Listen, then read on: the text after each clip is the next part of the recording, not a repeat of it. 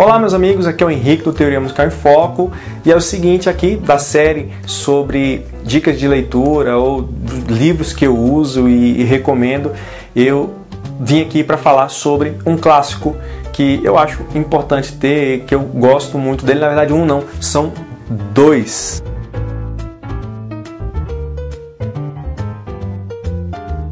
Então o livro que eu quero recomendar aqui para você, quero deixar para você, é um livro que eu gosto bastante, que me ajudou demais, é o na verdade são dois, né? Volume 1 e volume 2 é o Princípios Básicos da Música para a Juventude da Maria Luísa de Matos Prioli. Foi através desse livro que eu tive o meu primeiro contato com a teoria musical. Eles são dois volumes. O primeiro volume ele trata mais da parte de notação musical, então ele é mais focado na parte de notação musical, é de teoria musical e está focado na parte de notação musical, ou seja, leitura de partitura. Na parte final dele ele aborda como apreciação musical, onde ele vai falar um pouquinho sobre é, orquestra, pouquinho, ele dá uma pincelada, é, fala também sobre os hinos brasileiros, né, hino nacional, hino da independência, então ele comenta um pouquinho, fala um pouquinho sobre, sobre essas músicas, mas no geral é focado na parte de notação musical, realmente leitura de partituras, é, é a, a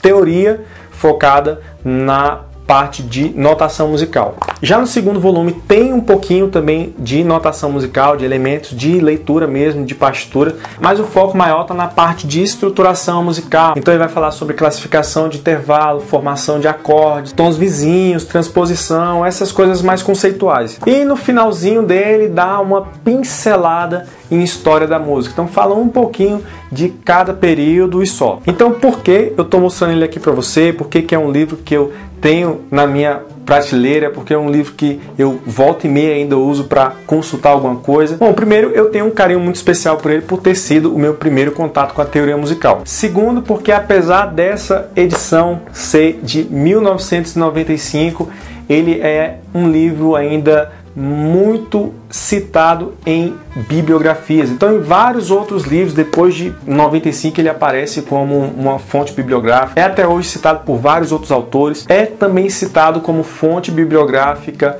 para vários concursos, para professor de música em vários estados e principalmente, pelo menos nos últimos editais que eu vi, foi para músico das Forças Armadas. Né? Então, banda das Forças Armadas é comum aparecer esse livro na, na citação. É uma das, das fontes bibliográficas que aparecem lá. E o último motivo é porque eu gosto muito da ideia de ter várias fontes. Então, às vezes você não entende a colocação de é, a colocação do autor em um determinado livro, aí você vai para um outro livro e ele coloca aquele mesmo assunto de uma forma diferente que talvez torne aquele assunto mais claro para você. Então, ter fontes para comparar o mesmo assunto ajuda também a assimilar melhor o conteúdo. Então, tá aí a recomendação. Se você encontrar ele por algum lugar, com certeza vai valer a pena para você deixar ali como consulta, para você dar uma estudada nele, consultar quando precisar. É um excelente livro também. Dependendo do lugar que você for, você pode até folhear e ver se o conteúdo dele faz algum sentido para você